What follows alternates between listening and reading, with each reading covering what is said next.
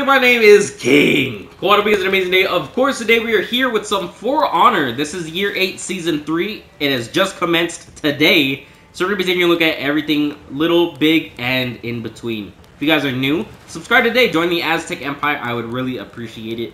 And let me know in the comments below if you're a new person. I'll gladly reach out and say what's up. In this season, they have introduced a lot of big and small changes. Some quality of life stuff a brand new battle pass, a new legacy pass, a free event pass for the next 20 days, a brand new event, of course, it also does come with a brand new execution and illustrious outfit, and a brand new hero outfit for the warlord called Gudmundur the Great, which is what you're looking at now. Without further ado, let's get straight on into today's update. Now, taking a look at this, right, real quick, you guys will notice a lot of these portraits have secretly been updated. The majority of these look really good. I've heard supposedly the Outlanders did not get a new portrait, and I believe Varangian Guard did not get a new portrait. Everybody else, though, did get a updated look to their character design. looks really cool. For a majority of these, I feel like Valkyrie uh, without the horns is very cursed, right? She does get a free ornament when you buy her, which is her horns. So to not include them, I feel like it's pretty cursed. It looks weird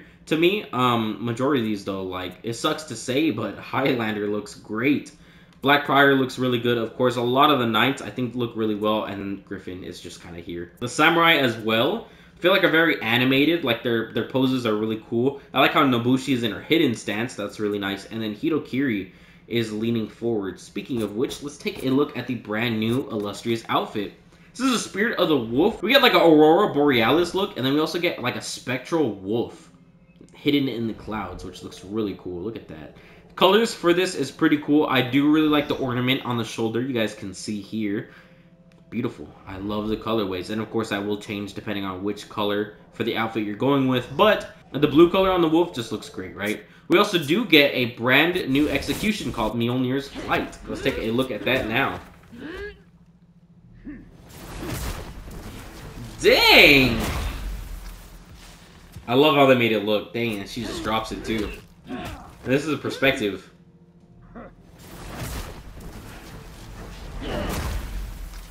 No peace. That's crazy. Reminds me a lot of the Rampage of Ragnarok. Bro, we need this execution back. This is for uh, the Wrath of Jormungandr event. I need it back, bro. I need it back. This is one of my favorite executions ever. Without further ado, let's move on straight into the battle passes. Also, during the faction war, um, it sucks to say the Vikings won again for the 40th time in a row, right? I'm part of the Samurai, so I'm a hater. For the Song of Gudmundur, right? This is our event pass right here. This is free for the next 20 days. You get 30 different tiers fit with a bunch of different rewards. Uh, Without further ado, oh, let's get straight on into this. We have the XP boost ticket, of course, very important, if I do say so. We get a battle outfit, which is called the Viking Strength. Really cool. For majority of these, this is like a black and red colorway. So for the last Battle Pass weapons, they look phenomenal, right? For stuff like Ocelot, look at that. I mean, that is just beautiful. Man. Yeah, it really does match with last season's Battle Pass. And to get all of these colors for free feels really good. So, you know, be on the lookout for that stuff, y'all. Looks really nice, right? You do get a battle outfit for each individual faction. Over to the next page, it continues on. You get some salvage, and then it goes into the ornaments. Viking Glory, really cool. It's fitted with like four different gems, which do change color depending on your different outfit styles. Right, you guys can see the top is like turquoise for this, the bottom is blue. There's some blood on the blade, and then the rest of it will actually change color majority of the time. So it looks really cool, right? You guys can see it's yellow right there. Over here, it's like a gray, and then right here, it is red. So it looks really nice. For each individual faction, it is the same. So, um, you know, there's that. I think that's usually what they do for the event passes, right? Most of these ornaments will stay the same for each faction. And then in the individual battle pass, sometimes they will change. We got an XP boost token, and then we got the 4 Valkenheim idle effect. Now they break this up into the next couple of pages, but you get a idle effect for, these are all the same, of course, right? You will get a emo effect for all of the individual factions. And then it'll move over to some steel. You will get the execution effect, which kind of explodes like that, makes a loud noise. Maybe you'll see it here better. Pretty cool. Yeah, and then for the Vikings. Ah, nice. That is pretty cool, y'all. That is it for the Song of Gudmundur Event Pass. Moving on into the actual Battle Pass for Year 8 Season 3. We get the no enemies execution right off the bat.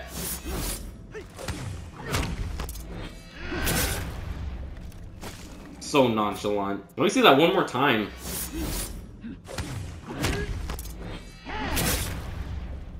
Wow, that looks crazy. One more time.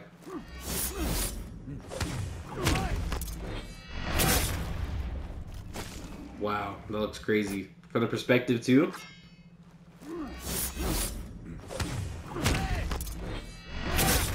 Mmm. Ah, that's crazy, bro. That's disrespectful. Moving up, right, we get a outline emblem customization. We our 10% battle points boost for the remainder of the season and a 7-day champion status, which I believe is like extra XP and steel and like rewards at the end of each uh, match or something like that. I'm not sure. XP boost, we get some steel, we get a symbol, right? I'm going to skip over a lot of like the embossings and symbols and stuff like that. These are the colors. This is white, uh, very light gray, and like a tan color, which doesn't stand out too much. Um, it, it's very simplistic for these colors, but you know, just in case you're into that stuff, here you go. This is the battle outfit, Invincible Protector. This is like a purple, a orange, and a tan color, I believe. Yeah, um, not the best. Not the best. I'm not the biggest fan. We're moving on straight into our first weapon set for the Vikings. This is the Invincible uh, Kvoti, I believe, right? So I remember they mentioned in the Battle Pass, a lot of the different factions will get a different animal depending on what those uh, factions or like empires or whatever historically believed to be significant.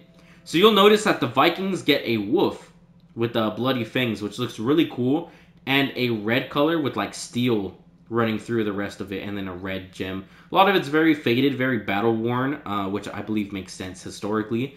Uh, but for the rest of this, right, you get the wolf, and I think it looks really cool. Almost has like vampire ears too, like a vampire bat.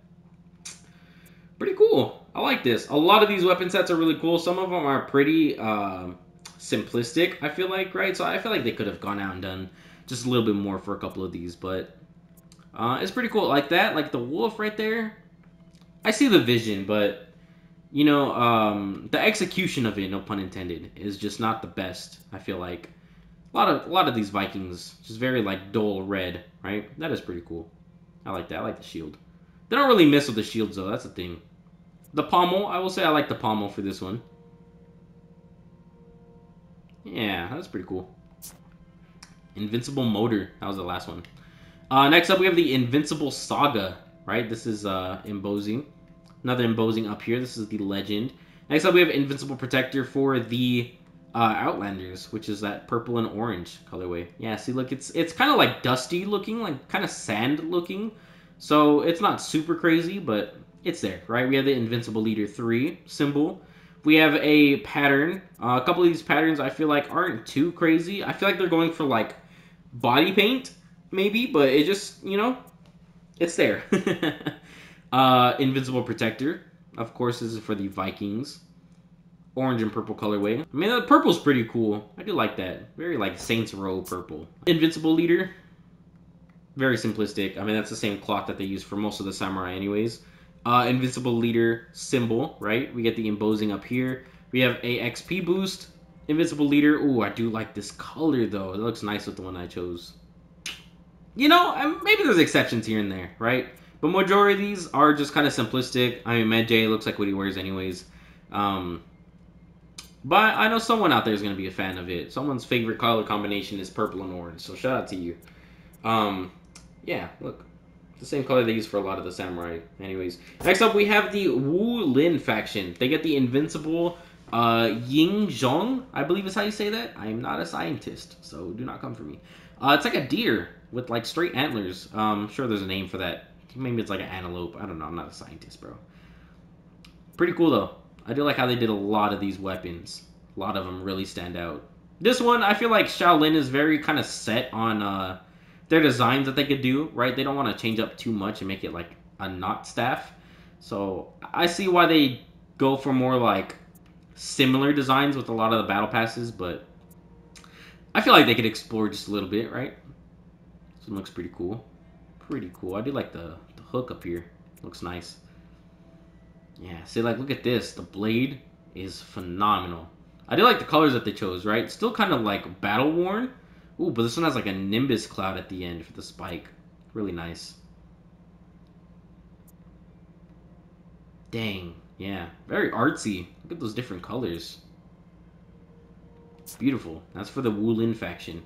Got some more steel up there. We have a symbol right here. We have it embossing over here. This is for the shield. And, uh, yeah, a couple of these work. I look, uh, look like Neytiri from Avatar. Some more colors. We got a scavenger crate, finally. And an execution effect, right? This is the Invincible Voyager. Looks pretty cool. Now, I like this. They, they pair it right. This is the emo effect. You also get the idle effect, and then, of course, the execution effect. Yeah, look at that. That looks great. Nice, and then it flows through all out. Yeah. Now, the picture for the season is actually Valkyrie, bro, and they make it look so cool. Look at that. Yeah, it looks better in the drawing, but Dang if that doesn't look good. One more time. Mop.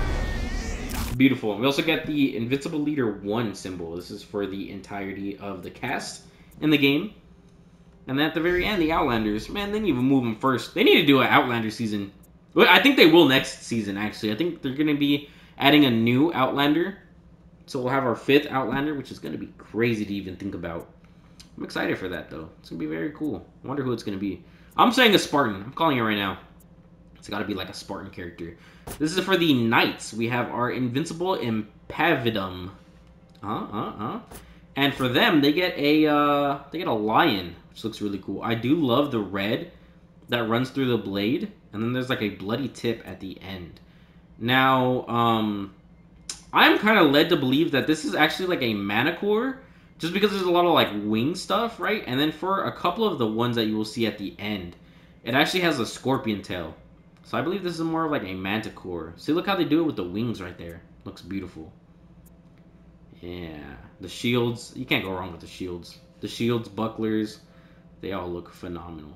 I do like the the guard, the blade guard, or I guess it's a handle guard, right? I do like how the guard on the side is the wings. Yeah, see, look at this shield. Black Prior, I mean, always has the best shields. But, yeah, look, it has a scorpion tail that goes down and hugs, like, one of the swords. And then there's a bunch of other broken swords. Man, this looks so cool. I do like the squiggly blade on a lot of these, too. But, I mean, Black Prior probably has the best set. I'm gonna be honest. Uh, Gryphon, you guys can actually see the scorpion tail at the very bottom of the blade. So Gryphon, you know they have a lot of room to execute their vision. Yeah, look at the pommel too. It's a full scorpion tail. Looks pretty good.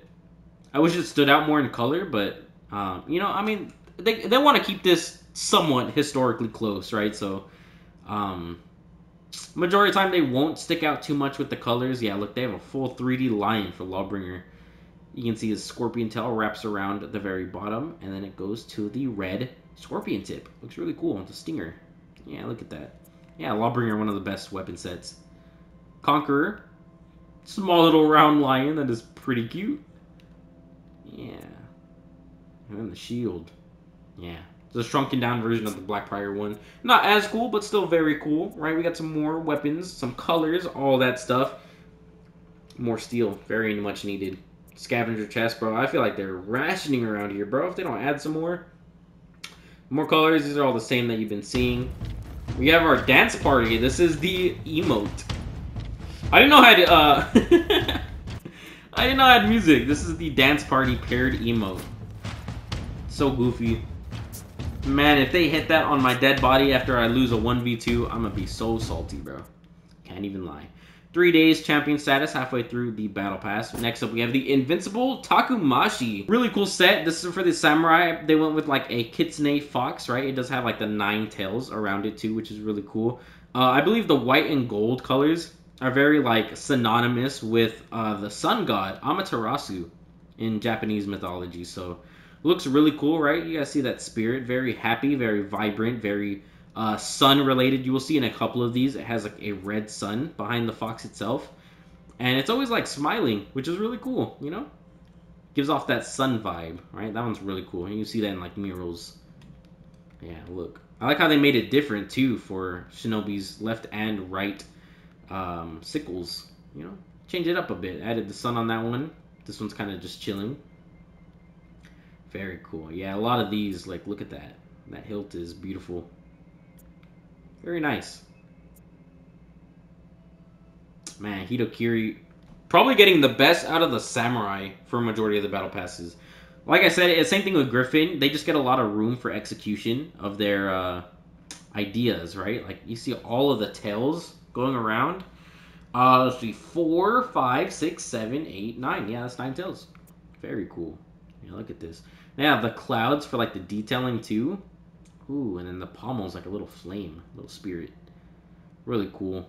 Yeah, look at that. Ooh, Kyoshin's has pretty cool too. Pretty cool. Dang, yeah, I like that. Look, look at all that detailing. I mean, the detailing, even though it's like the same color as the actual scabbard, it just looks nice, bro. They just made it look so cool. And then the whole fox going across it. I will say Sohei probably has the best one in the samurai, with Hito probably being a close second. Man, look at this though. The cross on it, right? It's the full 3D fox. They have the front of it. The back goes onto two tails, and then the remainder of the tails go up to the very top. It just looks so nice. The detailing, right? They do have like that mural fox at the bottom too, and then the blade. So everything, it's all in one. For Nobushi, I do like this. I like the curve at the very end. Like the, the shape of this blade just looks really cool. Yeah. Nobushi gets some really cool stuff, but I mean the the whole shaft pause is just so thin that uh, majority of time you won't really notice it in game other than the colors and the basic outlines. Um, but it's really cool. They went off with the Shugoki one. I will say the blades. I feel like maybe they could have went where it's like nine individual blades for the different tails. That could have been really cool, you know. Uh, but I like this. This this is cool nonetheless. I do like how the tails go off into the top and turn into 3D as opposed to just like a um, a pattern on top of it, you know. So it is really cool. The fox around it, and then you have the little flames. Really cool. A lot of these are really nice. Some more champion status. Dance party. Man, that is disrespectful. Invincible Spirit. This is an Embosing. Ooh, I do like that. Pretty cool. Yeah, I feel like it's going to pop off on the Samurai, you know? Some new colors. Finally, Invincible Leader 2. This is a blue, turquoise, and like a pale purple. Lavender. Is that what that is? Invincible Jarl. Or Jarl. I believe it's Jarl, like in Skyrim. Yeah. Is pretty cool. Red and like purple. Maybe it's like a blue. Yeah, yeah, I see it. Yeah. Some more steel. Dang, this is a long battle pass, ain't it? We're gonna try to fly through the rest of this battle pass because I feel like I'm taking forever. Look at the grand idea though, right? So this is the ornament, Invincible Greatness. Looks pretty cool. This does not change depending on each faction, but the colors do change, which is really cool. For the Outlanders, uh, it's a mix of a bunch of different things. For Pirate, it looks like they went with the Wu Lin design, which is really cool. Yeah, it's like a... I don't even know what type of animal that is. I want to say it's a deer, but look at the antlers. I'm sure there's a name for it.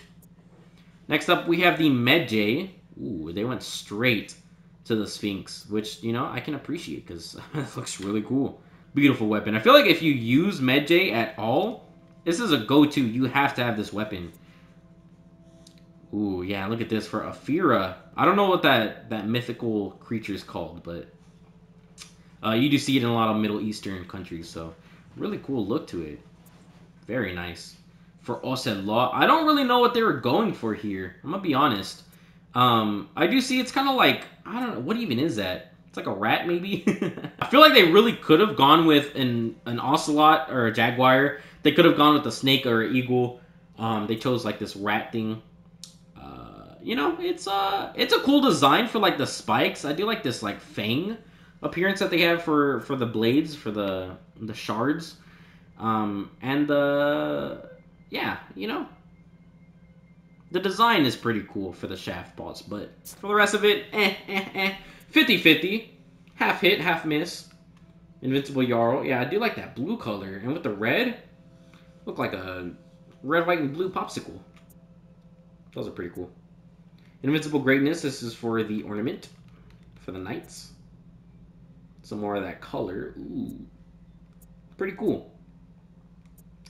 Yeah, and then for the rest of it, majority of it's the same, right? For the rest of the battle pass, I do want to speed through this because we do also have a legacy pass. Um, but you guys get the gist of majority of this stuff, right? So you see the different colors, you see the different uh, outfits. A lot of these ornaments are the same. And then at the very end, you get the outline. This is for the emblem customization. Not a lot of people really pay attention to that stuff, but if you do, um, I think that's one of the better ones. Last but not least, we have the Invincible Creator. This is a effect, of course, for the idle execution and emote. Ooh, that looks so cool. I didn't even notice it has like one eye missing with the flame effect coming off of it. Yeah, really cool. Dang, that looks great. I mean, for the Vikings, obviously, it's going to be top tier. Yeah, pretty cool, pretty cool. I do like the effect in the background, the Aurora Borealis that we get. Yeah, I could work on the Knights, but, I mean, it's for the Vikings, so makes sense. 2,000 steel and 7 days worth of champion status. Last but not least, let's move on over to Legacy Pass. I know this is a long video, so we're going to try to speed up this process. Let's get into it. We have the Dawn Sylvan. This is the idle effect. Of course, you also get Emo and Execution. Uh, it's kind of like a tree spirit. It looks really cool, and the antlers are ginormous. You also get leaves on the shoulders, which does look pretty cool. Uh, and the colors are cool. This is the dawn, right? We also do get a dusk one later on, which is like a orange color for the leaves. Uh, we're gonna speed through this. I'm gonna be honest. For the weapon sets, a lot of these don't really pique my interest. Majority of these don't. Um, this is the basic idea of it. It's green. It has an orange jewel somewhere, and then the rest of it's like a silver or gray color. Um, yeah, not a lot of it's like super flashy. I feel like, and a lot of it just reflects that light like crazy. Yeah, like it's like white and green a lot of it, like, I, I get the idea, and same thing as earlier, it does, like, make sense on paper, but the execution of it is just not as flashy as you would hope for it to be. So it kind of loses points in, like, uh, flashiness, you know? Uh, Sylvan Worshipper is like a green color, oops. And then the other one, this is up here, the Chimera Resolve, is like red and black. Focus on the red though, which is pretty cool. Jormungandr gets a pretty decent weapon. I do like the leaves. I will say, like a lot of these, uh, the shafts and the handles balls will get like a leaf design to it somewhere. So I do appreciate that. Like you see the very bottom of it, that pommel, that spike. It is a leaf, so that's cool. But majority of the rest of it, like the colors, aren't too flashy. Um, the weapon sets aren't the greatest. Very basic, I feel like. Um, so, you know, I, I think I'm going to skip on this. I think my wallet's safe for the Legacy set. I will say the effect is cool, though, but, you know, I have a lot of other effects for a lot of other characters, so it's not like I'm in need of one. Um, however, this is a great battle pass, you know, I will say that, like, for Honor, for Ubisoft being as money hungry as they usually are, the battle passes are usually a really good idea. If you want to just spend $10, you'll get a weapon set for just about every single individual character in the game you will get a outfit, uh, you know, execution, idle, and um, emote effect as well. Majority time, they are on the same level as illustrious outfits, so majority of the time, right, they will be really good. I do say majority of the time because not all the time are they like super crazy. You guys see for this legacy pass, like it just uh, doesn't hit as hard as I hoped for it would. We also get a signature here. This is a Sylvan Rose, which you get a little rose to spawn which is pretty cool. Not as cool as last season. I think last season's Legacy Pass was really cool, definitely worth it. Uh, we got the Sylvan Bonsai for the Samurai. Yeah, pretty cool. But the rest of these weapon sets, yeah, they're they're they're here. Sylvan Bamboo, I believe this is for the Wu Lin specifically. Nice. Yeah, look at these. And the Sylvan Brew for the Vikings. Of course, that's what you would expect. Nice, yeah. A couple of these are cool. Like I, I like the handle for that. Yeah. I don't know what this aesthetic is called. I know there's a word for it. Eh. Not the coolest. We got our amulet, though. Dang, that looks pretty cool, though. I will say. I kind of wish that the face was different for this this effect, this outfit uh, for the Sylvan, you know, I, I feel like they could have popped off with it, but they, they they held back a little bit for some reason. This is the Dusk Sylvan. You get that orange look.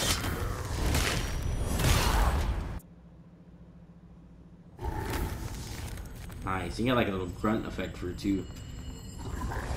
When it leaves, it has like that leaf flying away. The leaves. the leave. they have the leaves leaving. Pretty cool. Dusk Sylvan for this.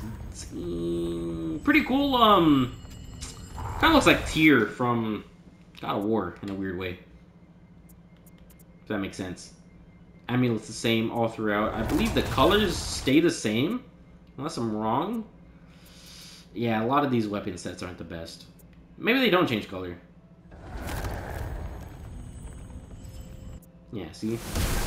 And then last one we got Sylvan Metamorphosis. Now this is only for the execution effect. Um, ooh, this emblem customization is really cool though. But yeah, look at this. Oh, that's why it's a, it's an actual execution. I'm dumb. Yeah, that's really cool. See that perspective.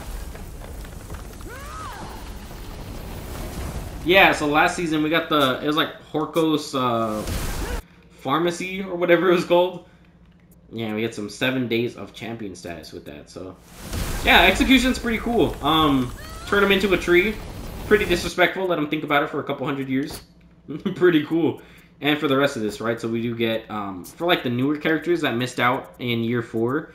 They have updated this. They usually add on to a lot of these, so really cool. Black and red for this, right? You get the Sylvan Amulet um, at the end, which is really weird. So if you play Gryphon, Kyoshin, Pirate, Medjay, Afeera, Ocelot, Varangian, or Sohei, you'll have to wait till the end. So suck it, all the Gryphons. That's what you deserve. You have to wait till the end. for the rest of these, all right, you do get like the look for it um, everything that everyone else got in the rest of the battle pass. Yeah, that's for the free pass. You get those, and then for the remainder of them, you will get this down here. Um, really cool how they do this, right? Make sure no one's left behind. That's when they get all of this stuff. Turn them into a tree. Yeah, looks really cool. Um, I will say this looks cool, but the Sylvan Botany colors really nice. I do like that green color. And you also got a signature. Sylvan Rose. I don't know if everyone gets a different one. Like, I know Afeera gets the rose. What does Ocelot get? Um, did I skip it? Oh, also, yeah, like, look, the leaves right there. Oh, it's cool. I, I, I do appreciate that, but, you know, uh, if they would have added this when Ocelot came out, I would have stared at it in complete confusion. Like, what is this? This does not fit Ocelot in, in the nearest, you know? Yeah, so it looks like he gets a rose as well. I'm assuming everyone else does. And that's it for this very lengthy Battle Pass presentation. Thank you guys so much for tuning in. That is it for this brand new season. Let me know what you guys think. How do you guys feel about the brand new Battle Passes, right? Three in total. One normal Battle Pass, one Legacy Battle Pass, and then of course we get the Event Battle Pass. So let me know how you guys are feeling in the comments down below. My name is King Coatl. Have an amazing day. Of course, if you guys are new, subscribe today. Join the Aztec Empire. And, um, you know, happy hunting. Have a great day. Stay safe. Take care. Peace, adios, and of course, until next time. Bye-bye, y'all.